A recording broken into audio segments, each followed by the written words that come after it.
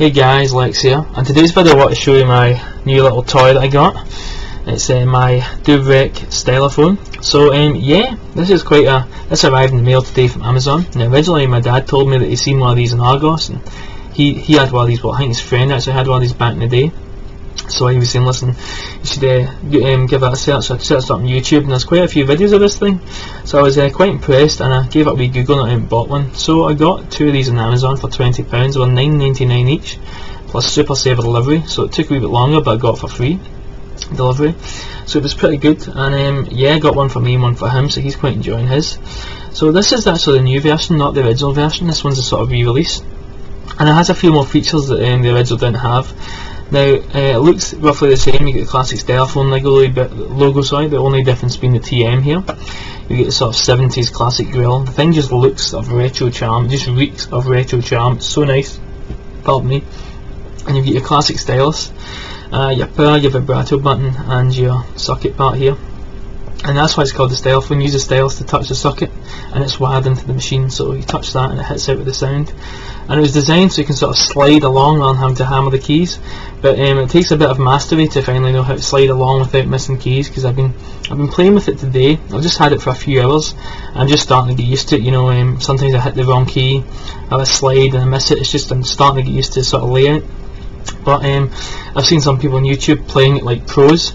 Uh, a lot of people mistake this for a toy. It, it can easily be used professionally. Um, it was used professionally back in the 70s um, if you use it right.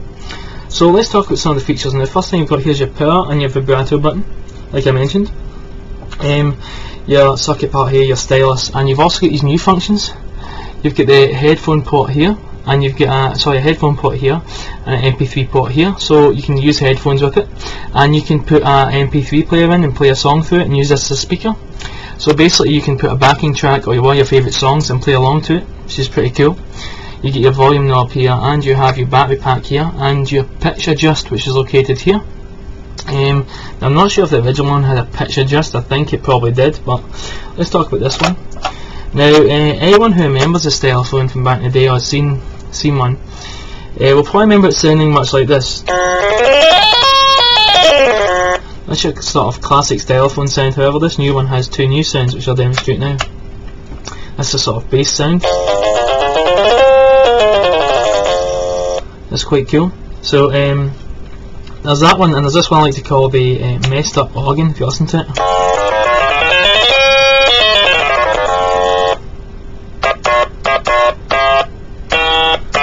You know, just need a double dragon. That's the first thing I think of when I think of this. Another thing I want to mention to you is um, the vibrato feature. Now this is a real charm. Just listen to the difference here. This is it with vibrato on.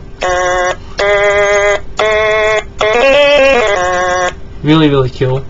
So really nice. Now I'm going to demonstrate the pitch changes. We turn this pitch, the wee handle here. You the difference? Turn it around some more. Turn it back to where I originally had it, which was here. Yep. So yeah, quite cool. So I've been messing around with this, just playing a few themes. One I remember I was playing, I've just been playing some ones from my childhood, and one I remember was a Final Fantasy Fanfare theme. You know,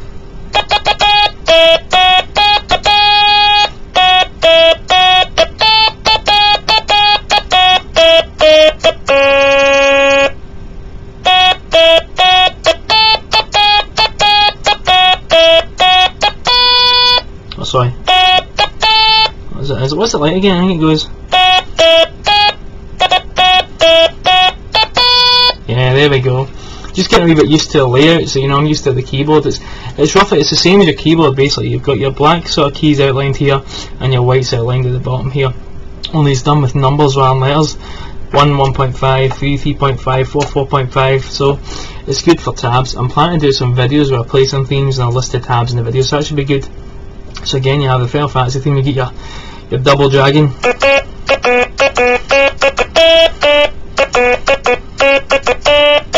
Which I quite like, so you can't really go wrong. Even better with vib vibrato on actually. Sounds quite cool. The, the Final Fantasy one sorry, is great with this vibrato on. it sounds fantastic with the vibrato actually. You know, I was remember what was one, um, you know, uh, Pokemon, Pokemon Gold. I was just messing about, know, Pokemon Gold when a wild battle.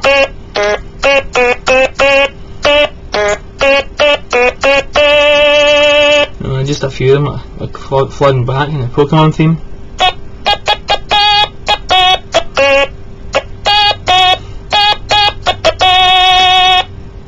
You know, and it um, Pokemon?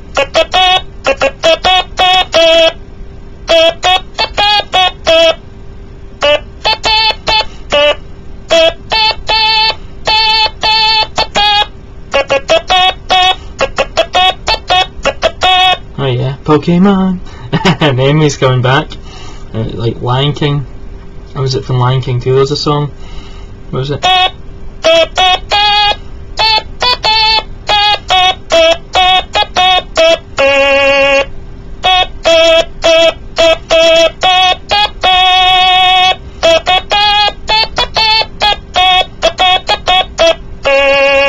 You know, we Are One, I believe it was called. So I'll be. These are just a few I was playing. They're not perfect. My apologies. But yeah, I do try to play. I do proper videos, but I do practice and get them mastered on this to put on YouTube with tabs. So that should be good. I mean, I just messing around with some Kraftwerk, Kraftwerk songs, like the model.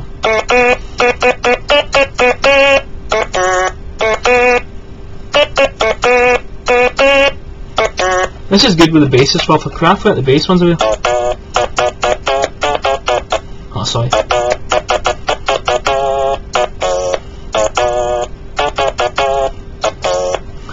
um, one I really liked was um, Pocket Calculator by Kraftwerk. And for this one I'm actually going to use all three sounds. It sounds really really cool. So you've got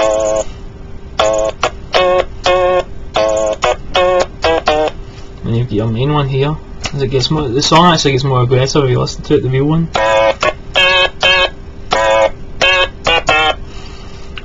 And your classic sound here, so you can sort of uh, slide across. Oh, sorry.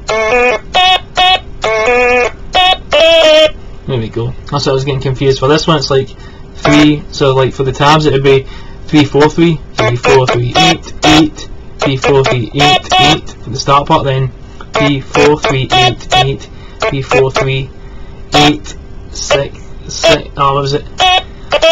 Yeah. So trying to remember the numbers here. So it's three, four, three, three, four, three, eight, eight, three, four, three, eight, six, seven, six point five. Now that sounds silly, but listen to it.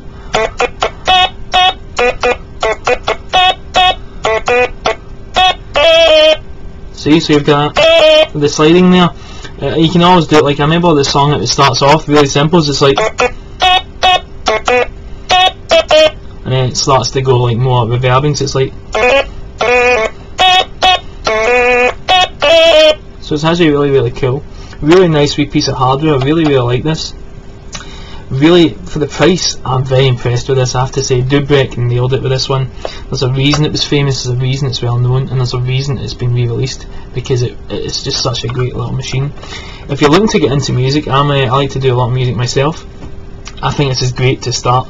For the price, you really can't go wrong. I mean, let's say you go and you, you buy a, a big expensive keyboard. There is a chance that you will get inspired because that's what happened to me. I just, pardon me, sat down and started playing one day and got inspired and I moved out like Fruity Loop Studio and VSTs and stuff and just expanded my music even further. Uh, I've also got a Korg, um, what's it called, Monotron Duo coming in the mail, so that should arrive a few days soon, so I'll be expecting a video on that. Great little analog synth. Um, so that uh, teamed up with this should be quite a cool combo. so yeah, um, I think this is great if you, you want to get into music, you want to practice melodies and just tap away, it's great. I mean for the price it's you, you don't get inspired, music isn't for you, what have you wasted? 14 quid, 20 quid at most, you know, compared to say 300 quid for a decent keyboard, you know, so you can't really go wrong. Great wee piece of kit.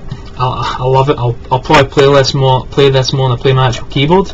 I'm a big Yamaha, but um, yeah, really, really nice. I think you should definitely pick one up and give it a try. Um, can't really go wrong with it. Really, really nice piece of kit. So yeah, um, be expecting more videos in this from me. Hopefully, better sounding songs without any missed keys. I'm still getting used to the sort of sliding across and stuff. One thing actually before I go, off, I forgot to mention this is you need to be very careful. Uh, sometimes um, you will get a crack. Oh, screen's going off there. Sometimes you'll get a sort of crackling sound if you're too gentle. If you listen, so you get a sort of weird crackling sometimes.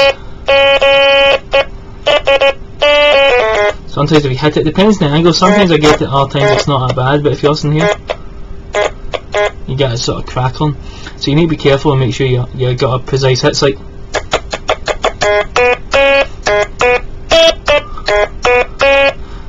So if you're sort of gentle with it and sort of slide, it's like it sort of crackles a wee bit. It just it depends. But that, when I first got this, I was just like a couple of hours and started playing it. I was just like, well, it's awful crackly, but you need to sort of get the positioning right. It's weird, but it's just the way it is. So yeah, guys, uh, thank you for watching this. I do hope you found this video helpful. If you've been looking for something like this, like I have, it's really portable and you can take it on holiday and stuff with you. Then yeah, this is definitely good. This is can't go wrong again.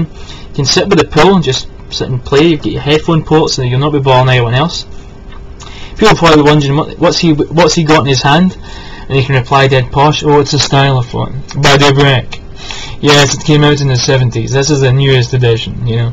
Send all posh, protect the John Conway or something, you know, with your ripping abs and your speedos on, you know. nah, I'm kidding. I don't recommend that, but I do recommend this. So do give it a check out, guys. Really, really nice wee piece of kit. And there's all videos all on mine on YouTube. Plus, you'll be seeing more videos from me. So, if you haven't uh, been planning buying one of these, I do hope after seeing this video you certainly are. so yeah, uh, do check it out, guys. Really, really good wee piece of kit.